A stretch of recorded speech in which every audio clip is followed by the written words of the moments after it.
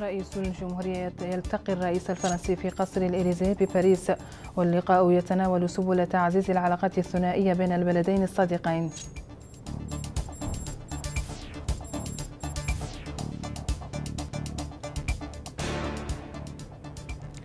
وزير الدفاع الوطني يشرف بمقر الكلية الوطنية للقيادة والأركان في نواكشوط على حفل تخرج الدفعة السابعة عشرة من دورة الأركان.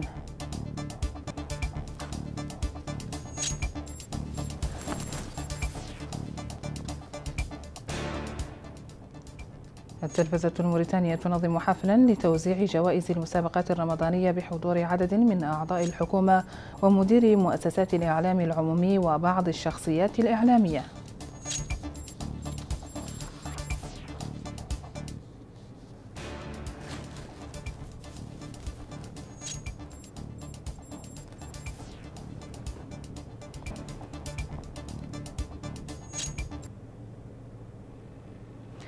أهلا بكم مشاهدينا في مسائية الجمعة من قناة موريتانيا.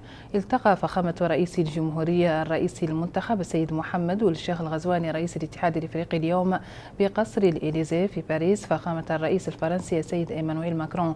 ويأتي هذا اللقاء الذي شكل فرصة لبحث مجالات تعزيز العلاقات الثنائية بين البلدين الصديقين على هامش انطلاق الألعاب الأولمبية الصيفية باريس 2024 وكان فخامة رئيس الجمهورية قد وصل إلى العاصمة الفرنسية باريس لحضور افتتاح الألعاب الأولمبية الصيفية باريس 2024 التي تستضيفها قرية اللاعبين في منطقة سين دونيس شمال العاصمة الفرنسية باريس.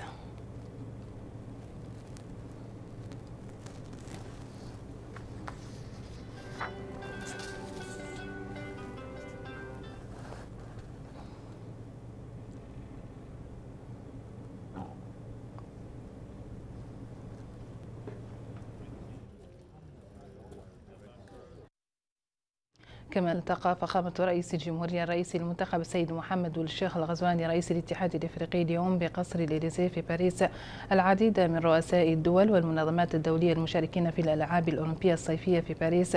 وفي هذا السياق التقى رئيس الجمهورية الرئيس السنغالي السيد باسيرو جوماي فاي ورئيس المرحلة الانتقالية في جمهورية الغابون رئيس الدولة الجنرال بريس أوليغي أنجيما والأمين العام للأمم المتحدة أنطونيو غوتيريتش ورئيس المجلس الأوروبي Charles Michel.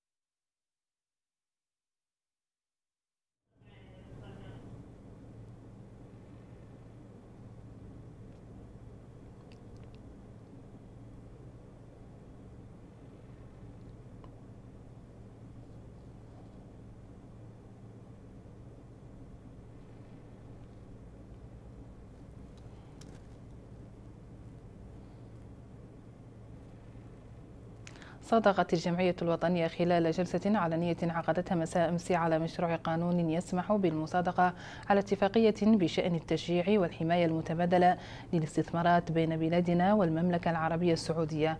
مثل الحكومة في هذه الجلسة العلنية وزير التجارة والصناعة والصناعة التقليدية والسياحة وزير الاقتصاد والتنمية المستدامة وكالة. خصصت هذه الجلسة العلنية للجمعية الوطنية برئاسة النائب أحمد محمد محفوظ مبالة النائب الثاني لرئيس الجمعية لنقاش مشروع قانون يسمح بالمصادقة على اتفاقية بشأن التشجيع والحماية المتبادلة للاستثمارات بين المملكة العربية السعودية والجمهورية الإسلامية الموريتانية الموقعة بتاريخ التاسع نوفمبر 2023 بالرياض. السادة النواب أجمعوا في مداخلاتهم واستشكالاتهم على أهمية الاتفاقية في إطار تفعيل التعاون بين بلادنا والمملكة العربية السعودية. باعتبارها تشكل فرصة لدفع العلاقات بين الدولتين لآفاق أرحب.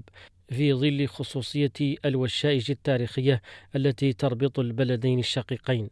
وطلب النواب الحكومة بمواكبة الاتفاقية لضمان استقطاب المستثمرين السعوديين ووضع المستثمرين الموريتانيين داخل السعودية في ظروف أفضل والمحافظة على سمعة البلد ودعوة الوزارة لتسريع وتيرة النمو لخلق فرص عمل للشباب ومحاربة الفقر وتطرق لمعوقات الاستثمار في بلادنا والمطالبة بتذليل كافة الصعوبات. وزير التجارة والصناعة والصناعة التقليدية والسياحة المرابط والبناهي وزير الاقتصاد والتنمية المستدامة وكالة بين أهداف مشروع القانون مؤكدا أن الاتفاقية تهدف إلى تعزيز وتوسيع التعاون الاقتصادي بين بلادنا والمملكة العربية السعودية. حيث تتضمن المعاملة العادلة والمتوازنة والحماية التامة طبقا للقانون الدولي والمعايير الدولية المعتمدة في مجال اتفاقيات ترقية وحماية الاستثمارات فيما يخص التشجيع والحماية المتبادلة للاستثمارات والمعاملة الوطنية ومعاملة الدولة الأكثر رعاية وكذا تعويض خسائر التحويلات وتسوية النزاعات. مبينا أنه من هذا المنطلق يترتب على كل من المملكة العربية السعودية والجمهورية الإسلامية الموريتانية وضع التسهيلات الضرورية للقيام بالاستثمارات لصالح المستثمرين من البلدين. وأبرز الوزير أن هذه الاتفاقية ينتظر منها زيادة تدفق الاستثمارات السعودية ما سيمكن من خلق فرص تشغيل جديدة ويساهم في تخفيض نسبة البطالة. وفي نهاية هذه الجلسة العلنية صادق السادة النواب على مشروع القانون المذكور. أشرف وزير الدفاع الوطني اليوم بمقر الكلية الوطنية للقيادة والأركان في نواكشوط على حفل تخرج الدفعة السابعة عشرة من دورة الأركان وتضم الدفعة 87 ضابطا من مختلف القطاعات العسكرية بشهادتي أركان ماستر واحد في الدفاع والأمن.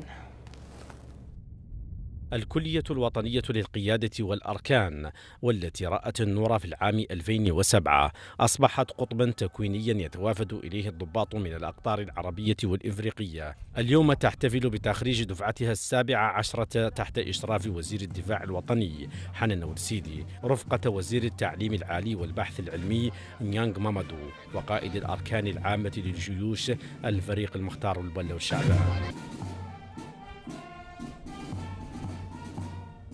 داخل المدرج الكبير. أزيح الستار عن ثمرة عام دراسي حصل فيه 87 ضابطا من مختلف القطاعات والتخصصات العسكرية على شهادتي الأركان والماستر في الدفاع والأمن. وتكونت الدفعة من 61 ضابطا موريتانيا و16 ضابطا من المملكة العربية السعودية وستة ضباط من جمهورية اليمن وضابط من جمهورية مالي وآخر من جمهورية السنغال ومثله من جمهورية الساحل العاج في حدث مثل مصدر اعتزاز لقواتنا المسلحة. إن هذا الحدث الهام اليوم المتمثل في تخرج 87 ضابطا من مختلف القطاعات والتخصصات العسكرية وهم يحملون شهادتي الأركان والماستر في الدفاع والأمن ليشكلوا استمرارا لهذا النهج الذي سيؤمن احتياجات المؤسسة العسكرية ويوفر اكتفاء ذاتية من الكفاءات البشرية المسلحة بمهارات التخطيط والعملياتي وقيادات الوحدة العسكرية الوحدات العسكرية على المستوى التكتيكي. لقد جسدت الكلية الوطنية الأركان بفضل نجاح تجربتها ثقة شركائنا العسكريين في منظومة التكوينية حيث باتت مقصدا للضباط المتدربين من دول الجوار الإقليمي والعربي. أيها الضباط الخريجون لقد حصلتم على معارف ومهارات عسكرية وأكاديمية لا شك أنكم ستحتاجونها عندما تواجهون استحقاقات الخدمة. تسلح الضباط الخريجون بمعارف ومهارات عسكرية وأكاديمية. اكتسبوها داخل الكلية ستعود عليهم بالنفع الوفير خلال مسيرتهم المهنية. إن نشاطات الكلية تمفصلت هذه السنة إلى محاور ثلاث التكوين تعزيز التعاون وتعزيز البنى التحتية. فعلى مستوى التكوين العسكري تم التركيز على التعليم العملياتي وتقنيات التحرير والإلقاء وغيرها. أما فيما يخص التعليم الأكاديمي فقد قدمت مجموعة من الأساتذة الجامعيين محاضرات في مجال القانون والاقتصاد والتاريخ العسكري وغيرها. ستمكن الخريجين من الحصول على إفادة ماستر واحد في العلاقات الدولية الدفاع والأمن. وبات الطلب على التكوين في هذا الصرح العلمي العسكري في تزايد من الدول الشقيقة والصديقة للحصول على مقاعد دراسية وهو ما يدل على الثقة التي تمنحها تلك الدول لبلادنا ولجيشنا الوطني. لقد بذلت الكلية الوطنية للقيادة والأركان جهودا مشكورة لتمكيننا من الحصول على أعلى درجات التكوين المطلوبة حيث تم اتباع الآليات وتذليل الصعوبات لجعلنا على نفس المستوى مع زملائنا الموريتانيين وفعلا تمكنا من اكتساب المعارف والتقنيات اللازمة لأداء أدوارنا كضباط أركان في المهام المشتركة. ذات الطابع متعدد الجنسيات وتقدم الكلية تكوينا عسكريا عاليا يضمن الحصول على قادة عسكريين قادرين على التخطيط الاستراتيجي الفعال. ها نحن نعيش بحمد الله وفضله. أفراح يوم نقطف فيه ثمار سنة من الجد والمثابرة. بعد عام دراسي تميز بتحصيل المعارف والمهارات العسكرية والتقنيات اللازمة للضباط الأركان. مدفوعا بإرادة قوية ورقابة صارمة. ومتابعة حثيثة من طرف قيادة الكلية. خلال الحفل قدم وزير الدفاع الوطني شهادات الأركان للمتفوقين من الدفعة السابعة عشرة والأول من دورة الأركان الخاصة. كما حصل المتدربون من الدول الشقيقة والصديقة على شهادات عليا تتويجا لمجهود عام دراسي مثمر. بدوره قدم قائد الأركان العامة للجيوش تكريما لمتصدر الدفعة النقيب سيد محمد أحمد جيد. وللبحث العلمي مكانة خاصة في مناهج الكلية ثلاثة بحوث مميزة كرم أصحابها من قبل وزير التعليم العالي والبحث العلمي. ليأتي الدور على المكونين وهم من خيرة الضباط السابقين وأساتذة التعليم العالي. كرموا من طرف القائد العام للكلية الوطنية للقيادة والأركان على جهودهم في تكوين الضباط. هو إنجاز دونه وزير الدفاع الوطني في سجل الكلية الوطنية للقيادة والأركان والتي أصبحت صرحا أكاديميا في المنطقة العربية والإفريقية تشد إليه الرحال ويؤرشف التكوين فيه كتاريخ لكل من مر من هنا. نظمت التلفزة الموريتانية الليلة البارحة حفلا لتوزيع جوائز المسابقات الرمضانية التي تم تنظيمها خلال شهر رمضان المبارك. حضر الحفل عدد من أعضاء الحكومة ومدير مؤسسات الإعلام العمومي وبعض الشخصيات الإعلامية. بحضور رسمي ومن رؤساء هيئات عليا ومدراء مؤسسات الإعلام العمومي والسلطات الإدارية بولاية نواكشوط الغربية ومدراء سابقين لقناة الموريتانية فضلا عن مدعوين آخرين ضموا علماء ومشاركين من لجان التحكيم. يأتي هذا الحفل المخصص لتوزيع جوائز المسابقة الرمضانية التي نظمتها قناة الموريتانية تشجيعا للإبداع وإحياء لشهر رمضان المبارك.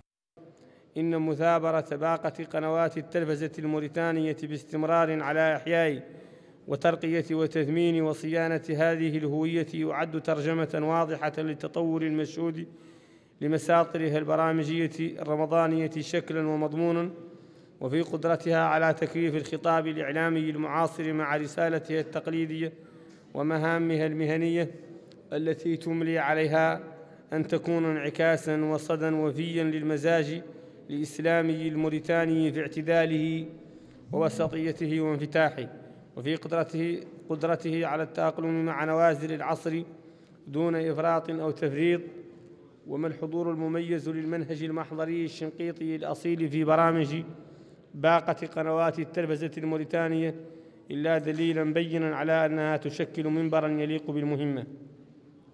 كما أن حرصنا على الحضور للإشراف على حفل تسليم جوائز المسابقات التلفزيونية الرمضانية للعام 2024 445 لمستحقيها من حفظ كتاب الله تعالى وطلاب العلم والشعراء والمثقفين يشكل دليلا آخر على ما توليه الدولة الموريتانية بكل مفاصلها وقطاعاتها العمومية للشأن العلمي ولتشجيع طلاب العلم ورواد سوحه ومنابره. المديرة العامة لقناة الموريتانية تحدثت بدورها عن مواضيع المسابقة وما شهدته من تطور في المحتوى والشكل. الجوائز التي ستوزع هذا المساء ستكون من نصيب الفائزين في عدة مسابقات نظمتها التلفزة الموريتانية طيلة شهر رمضان المبارك شملت عدة ميادين وبثت على قنوات مختلفة من باقة الموريتانية. وهذه المسابقات هي مسابقة القرآن الكريم على القناة الثانية مسابقة شاعر الرسول صلى الله عليه وسلم على القناة الأولى سباق المحضرة على القناة الثانية مسابقة أفلال لغنة على القناة الثقافية آلو الموريتانية على القناة الأولى. وقد بلغ عدد هذه الجوائز المستحقة 17 جائزة. بالإضافة إلى جوائز تشجيعية عديدة حصل عليها بعض المتسابقين. كما تم تنظيم مسابقات يومية طيلة شهر رمضان المبارك حصل الفائزون فيها على جوائز قيمة. وقد شهد الحفل الحديث عن مؤلف أصدرته قناة الموريتانية وكلمة للجنة تحكيم المسابقة. نظمت التلفزة في الأشهر الماضية أياما تفكيرية آه، بعنوان التحديات التنموية والسياسية ماذا نريد من التلفزة الموريتانية. طبعا هذه الأيام كان الهدف منها هو الاستماع إلى الآراء المختلفة. دعي لهذه الأيام مختلف الفرقاء سواء فرقاء سياسيين سواء الإنسان سواء المثقفين الصحفيين إلى غير ذلك. واستمع لآرائهم على مدى يومين آه، أخذت التلفزة من كل هذه الآراء. قدمها صحفيون أصحاب خبرة. وقدمها أيضا بعض المثقفين. جمعت هذه الكلمة الأوراق كلها وأصدرت في هذا الكتاب الذي وزع عليكم الآن. هناك تنويهان ساكون حريصا على تقديمهما. الأول لقناة الموريتانية. على جهودها الجبارة وعملها الدؤوب خدمة للفعل العلمي والثقافي والفني وخصوصا في شهر رمضان الكريم.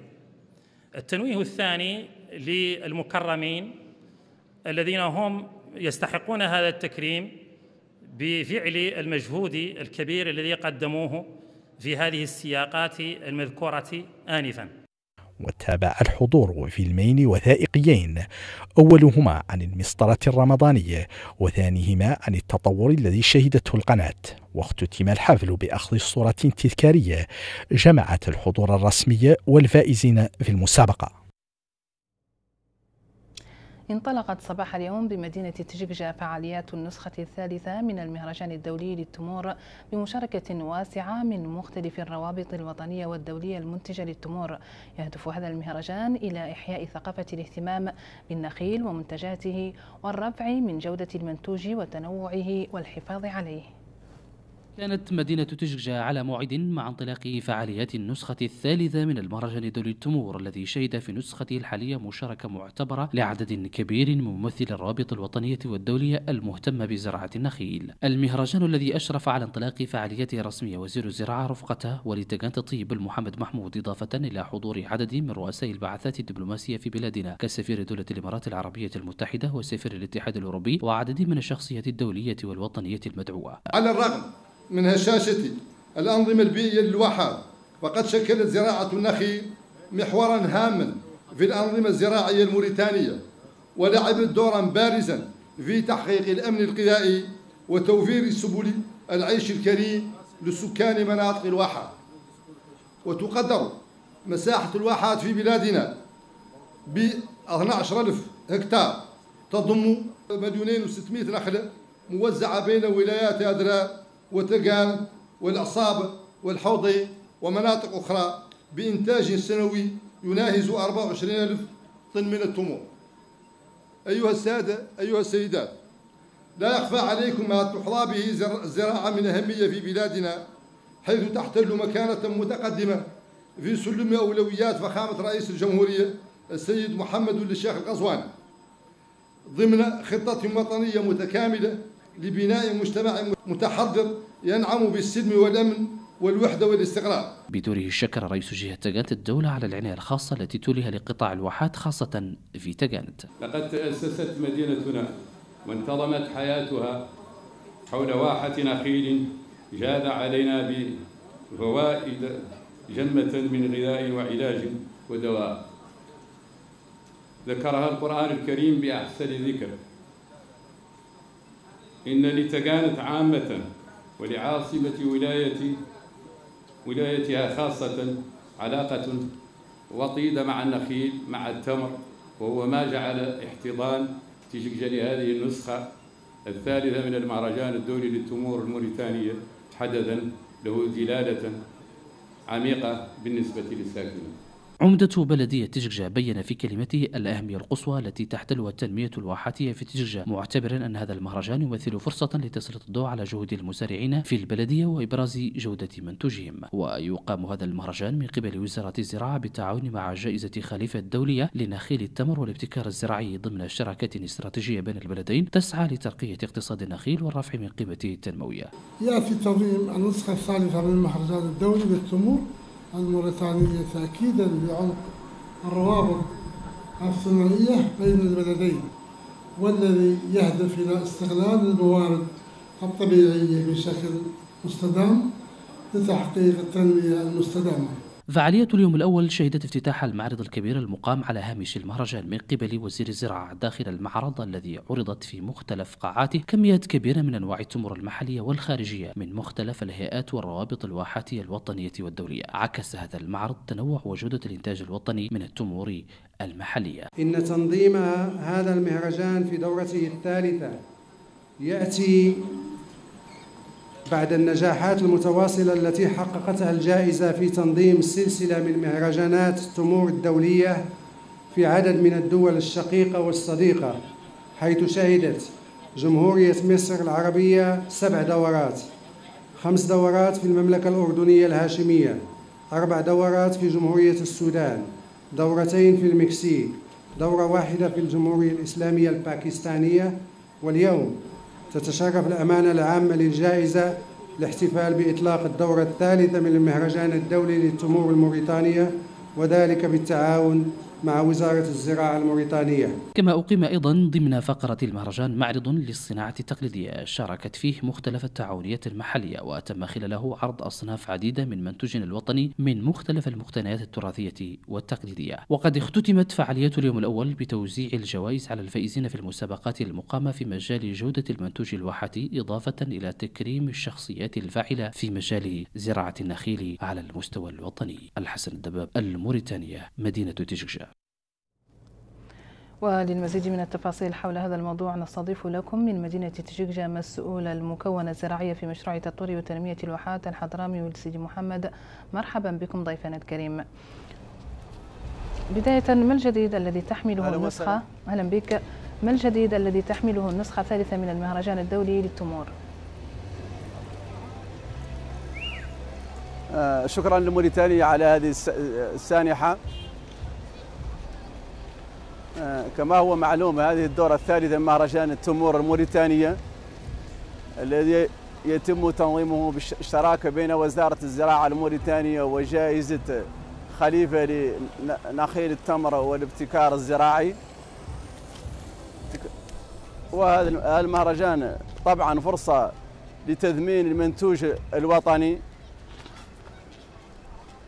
عن طريق آه، آه، إبراز ثراء وتنوع المنتوج الوطني من مادة التمور وعن طريق الاحتكاك بالمهتمين بالنخيل في في في مختلف أنواعها مختلف العالم مختلف انحاء العالم. آه، وكذلك آه، يظهر هذا المهرجان فرصة لإبراز ما وصلت إليه جهود جهود القطاع. حدود القطاع في تنميه في تنمية هذه الشعبه شعبة التمور. طيب أه، هل هناك أه، أهداف إضافية يسعى القطاع إلى تحقيقها من خلال أه، هذا المهرجان؟ كما ذكرت كما ذكرت المهرجان فرصه فرصة لإبراز إبراز وتنوع وتنوع. المنتوج الوطني مادة التمور وفرصة لاحتكاك مع مع المهتمين بالنخيل في في مختلف أنحاء العالم. آه، فرصة فرصة فرصة أيضا للتنافس الإيجابي بين المزارعين والمنتجين للنخيل على المستوى الوطني من خلال الجوائز التي يتم منحها. حيث حيث شاركت في هذه النسخة سبع سبع دول أجنبية من جمهورية مصر العربية ومن المغرب ومن السودان ومن الأردن ومن طبعا دولة الإمارات العربية المتحدة ومن دولة المكسيك. طيب وكما ذكرت المهرجان فرصة فرصة لإظهار ما وصلت إليه جهود القطاع. جهود القطاع لترقية هذه الشعبة. كما هو معروف وزارة الزراعة تبنت استراتيجية متكاملة في إطار في إطار طبعا برنامج فخامة رئيس الجمهورية للحد من لحد من الفقر وتحسين ظروف السكان في مناطق الواحات. حيث تعتبر زراعة النخيل والزراعة تحت النخيل المصدر الأساسي المصدر الأساسي والمورد الأساسي في هذه المناطق. تبنى تبنى القطاع سياسة متكاملة متكاملة لتنمية هذه الشعبة وتنمية الواحات. طيب نشكركم جزيلا الشكر حيث من المعروف أن معضل السيدي محمد مسؤول المكونة الزراعية في مشروع تطوير وتنمية الواحات. شكرا جزيلا. ونبقى في ولاية تكانت حيث انطلقت صباح اليوم في مدينة تجيجة منافسات بطولة القيطنة للرماية التقليدية. وقد تميزت هذه البطولة بمشاركة أكثر من 51 فريقا يمثلون مختلف ولايات الوطن. بمشاركة أكثر من 500 رام موزعين على 52 فريق انطلقت منافسات بطولة القطن للرماية التقليدية. في تجرجة بإشراف وزير الزراعة ماما بيبات رفقة ولي الطيب محمد محمود. تنظم هذه التظاهرة من قبل اللجنة المؤقتة لتسيير الرماية التقليدية بهدف المحافظة على هذه الرياضة الأصيلة التي تعكس جزءا كبيرا من ثقافة المجتمع وتراثه الناصع. نبدأ معا اليوم منافسات بطولة القطن للرماية التقليدية نسخة 2000 24 المنظمة بالتزامن مع المهرجان الدولي للتمور في نسخته الثالثة وهي المرة الأولى التي تنظم فيها الرماية في مدينة تشججة. وقد جاء تنظيم هذه النسخة استجابة لدعوة القائمين على المهرجان وحرصا من من اللجنة من لجنة تسيير الرماية التقليدية لخلق فضاءات وآفاق جديدة للرماية عبر فتح شراكة دائمة بين المهرجان وبطولات الرماية التقليدية. المنتخبون المحليون في مدينة تشجع ثمنوا اختيار الولاية لاحتضان هذه البطولة معتبرين أن ذلك يمثل اعتبارا لدورها الثقافي والتاريخي ويتوقع أن يتم توزيع جوائز قيمة في نهاية هذه البطولة على الفرق الفائزة فيها. الحسن الدباب الموريتانية مدينة تشجع إلى هذا الحد تنتهي الفقرة المخصصة للغات الإشارة. نشكر سلمو لحفظه الذي رافقنا فيما مضى من هذه المسائية نظمت الجمعية اللبنانية الدولية بنواكشوط مساء أمس حفلا لتخرج دفعة جديدة من الطلاب من مرحلتي الليسانس والماستر. حضر فعاليات هذا الحفل القنصل اللبناني ببلادنا وعدد من أعضاء السلك الدبلوماسي العربي في البلد. دفعة جديدة من طلاب الجامعة اللبنانية الدولية بنواكشوط من مختلف مراحل التعليم العالي الليسانس والماستر. تنهي هاتين المرحلتين لتلج سوق العمل وتزوده بعلوم نظرية ومهارات تطبيقية. استفاد منها الطلاب طيلة المرحلة الدراسية. باسم وزير التعليم العالي والبحث العلمي. أن أشاطركم الليلة بهذا الجو المتميز كتميزكم كذلك في هذه الليلة. أن أشاطركم أفراح تخرج دفعة 24 و2000 هذه الجامعة التي تمثل في واقع الأمر قدوة في التعليم الخاص لبلادنا. أتمنى للخريجين والخريجات مزيد من العطاء في ممارسة البحث العلمي والدراسات العالية وأتمنى لجامعتي مزيدا من العطاء من خلال المصادقة على الشعب التي تقدمت بها مؤخرا كي تكون متكاملة العطاءات. أكثر من مئة خريج توجوا دراستهم بتسلم شهادات تكريمية احتفاء بمجهودهم الذي بذلوا طيلة فترة التمدرس إلى جانب أولياء أمورهم الذين حضروا ليقاسموهم اللحظة. وهناك 103 طالبا حصلوا على شهادة الليسانس و49 على الماستر. أي ما مجموعه 152 من بينهم 86 بنت أي نسبة 56.58%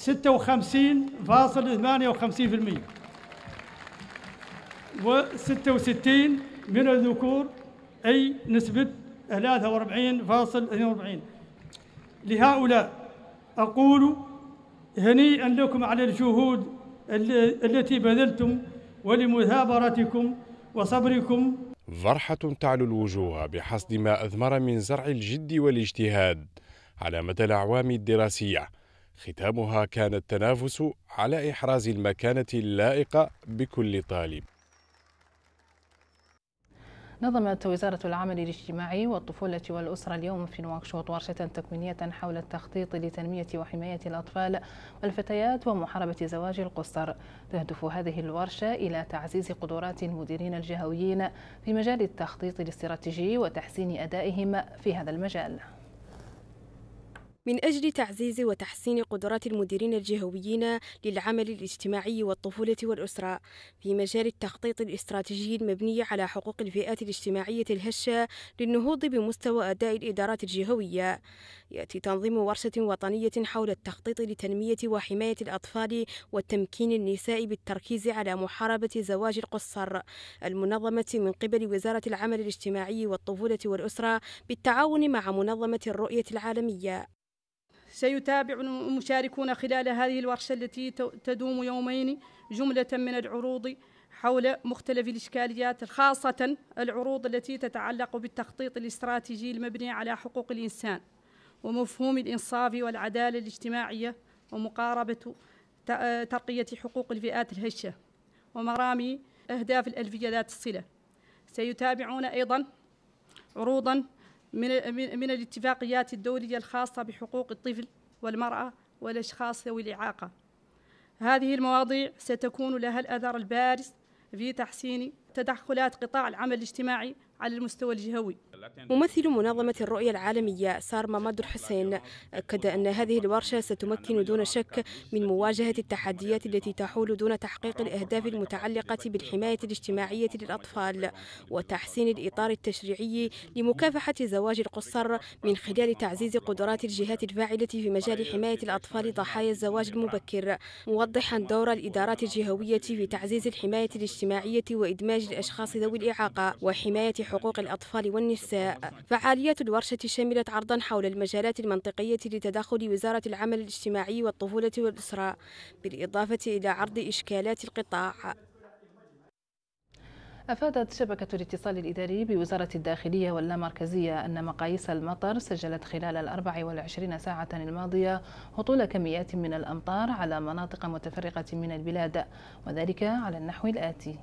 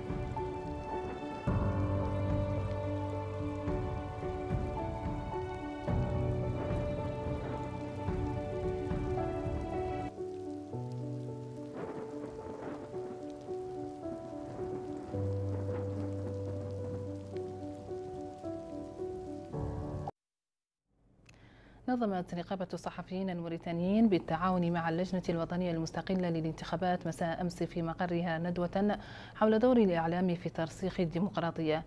تضمنت الندوة مداخلات حول إسهام وسائل الإعلام في ترسيخ مفاهيم الديمقراطية في بلادنا. تحت عنوان رئاسيات 2024 ودور الإعلام في ترسيخ القيم الديمقراطية. انطلقت هذه الندوة المنظمة من طرف نقابة الصحفيين الموريتانيين بالتعاون مع اللجنة الوطنية المستقلة للانتخابات وسط حضور دفيف من الإعلاميين والصحافة الوطنية وقادة الرأي. المستشار المكلف بالاتصال المؤسسي بوزارة الثقافة والشباب والرياضة والعلاقات مع البرلمان استعرض لدى إشرافه على افتتاح الندوة دور وسائل الإعلام في ترسيخ الديمقراطية وهو ما عمل قطاعه على تعزيزه من خلال اتخاذ جملة من التدابير لدعم وسائل الإعلام.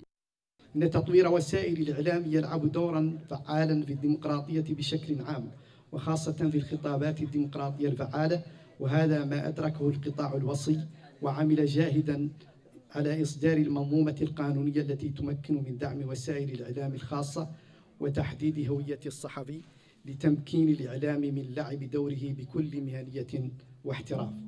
وقد انعكس هذا المجهود في التقارير الدولية حيث تبوأت بلادنا المرتبة الأولى عربيا وإفريقيا والثالثة والثلاثون دوليا وهو مجهود على الصحافة الموريتانية أن تعتز به وكذلك القطاع الوصي. وأن نسعى معا للحفاظ على هذا المكسب وتحقيق مكاسب أكثر. نقيب الصحفيين الموريتانيين أحمد طالب المعلوم شكر في كلمته الترحيبية الحضور على تربية الدعوة مبينا أهمية هذه الندوة في إبراز دور الإعلام في الدولة المدنية. رئيس السلطة العليا للصحافة والسمعيات البصرية بدوره تطرق في كلمته لدور الصحفيين كالشركاء في المسار الانتخابي من خلال مواكبة الحدث ونقله بكل مهنية وحياد. الناطق الرسمي باسم اللجنة الوطنية المستقلة للانتخابات من جانبه عبر عن سعادته بما تحقق من مكاسب الديمقراطية بفضل الشراكة التي فتحتها اللجنة مع الشركاء الإعلاميين من أجل وضع منهج يضمن شفافية الانتخابات والابتعاد عن الأخبار الكاذبة. الندوة أشفعت بمداخلات أصدر خلالها المشاركون جملة من التوصيات التي من شأنها أن تعزز المسار الديمقراطي. نظم الاتحاد الموريتاني للأدب الشعبي أمس ندوة علمية تحت عنوان نحو كتابة الأدب الشعبي الموريتاني. حضرها لفيف من الأدباء والمثقفين والمهتمين بالشأن الثقافي. في هذا السياق أكدت رئيسة الاتحاد خدي من شيخنا ضرورة تفكير الباحثين والأدباء بجدية من أجل الوصول إلى آلية لكتابة الأدب الشعبي الموريتاني مضيفة أن الاتحاد يسعى إلى تذليل الصعاب لإنجاز موسوعة للأدب الشعبي الموريتاني. وقد طلبت المداخلات بضرورة كتابة الشعر باللغات الوطنية مشيدين باهتمام رئيس الجمهورية سيد محمد والشيخ الغزواني بالأدب والثقافة والتراث الوطني.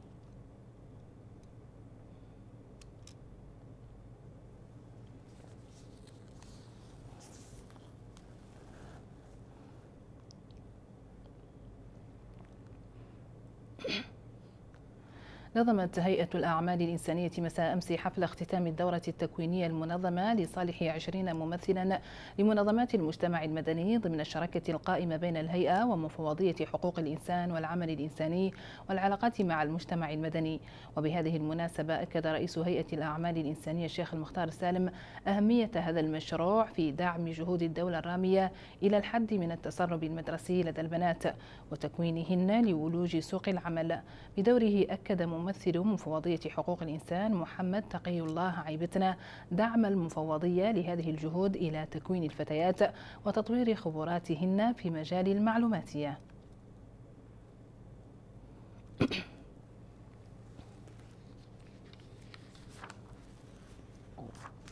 نظم الاتحاد الوطني لطلبة موريتانيا حفله السنوي لتكريم المتفوقين من جميع التخصصات بمؤسسات التعليم العالي للعام الجاري.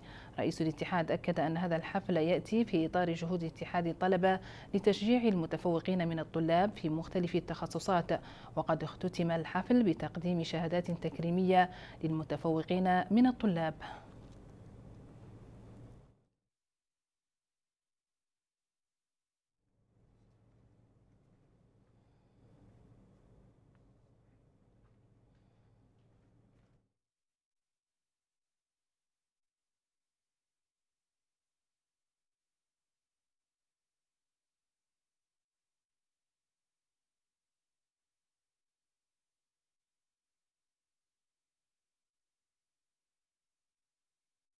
والآن ننتقل إلى نافذتنا الخاصة بالأنباء الدولية لكن بعد هذا الفاصل.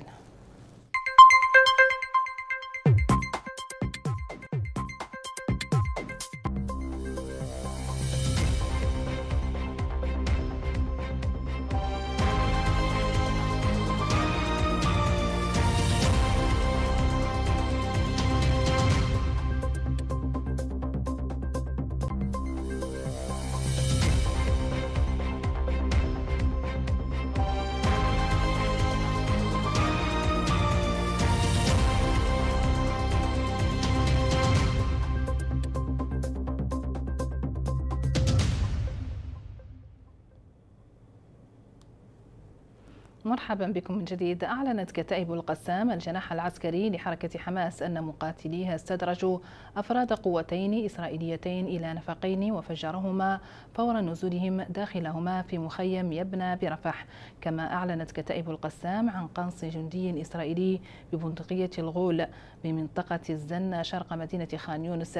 يأتي هذا في وقت تواصل القوات الإسرائيلية قصف أجزاء من القطاع مما أدى إلى استشهاد العشرات خلال الساعات الماضية في ظل الاشتباكات الضارية التي تخوضها المقاومة ضد قوات الاحتلال الإسرائيلي.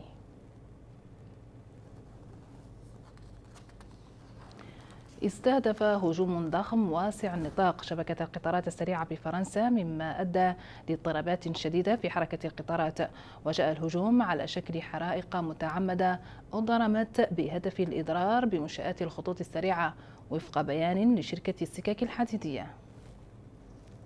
أعلنت شركة السكك الحديدية الفرنسية تعرضها ليلة الخميس الجمعة إلى هجوم ضخم يهدف إلى شل شبكتها التي تشهد اضطرابا شديدا قبل ساعات من بدء مراسم افتتاح دورة الألعاب الأولمبية الصيفية في باريس 2024 وقالت الشركة إن العديد من الأعمال الخبيثة المتزامنة أثرت على خطوطها الأطلسية والشمالية والشرقية موضحة أن حرائق متعمدة أضرمت بهدف الإضرار بمنشآت الخطوط السريعة. وأشارت الشركة إلى أن فرقها موجودة في الميدان. الميدان لإجراء التشخيص وبدء الإصلاحات لكن هذا الوضع يتوقع أن يستمر طوال عطلة نهاية الأسبوع على الأقل لإجراء الإصلاحات. إن كابلات مشغلة لخطوط القطارات عالية السرعة تعرضت للإحراق وأن أعمال التخريب طالت 800 ألف راكب وأن اضطرابات حركة القطارات عالية السرعة قد تستمر طوال عطلة نهاية الأسبوع على الأقل.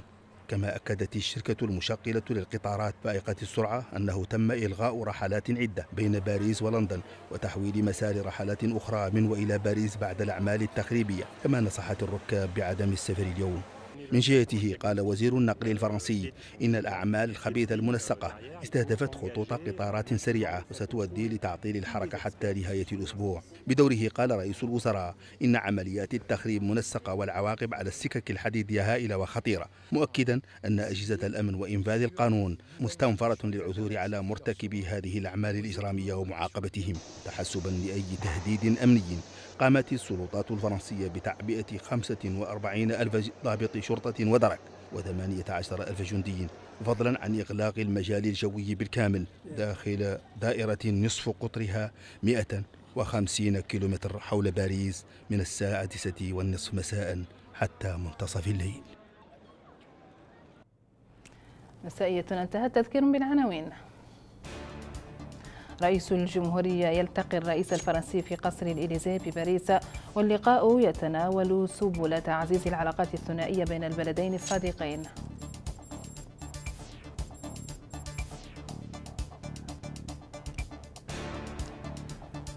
وزير الدفاع الوطني يشرف بمقر الكلية الوطنية للقيادة والأركان في نواكشوط على حفل تخرج الدفعة السابعة عشرة من دورة الأركان.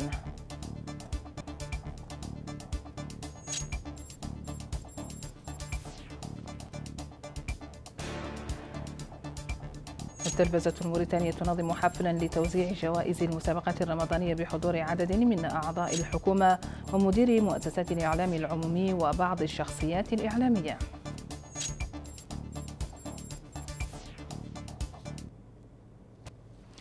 أخبار الولايات بعد قليل مع الزميل محمد بلال. إلى اللقاء.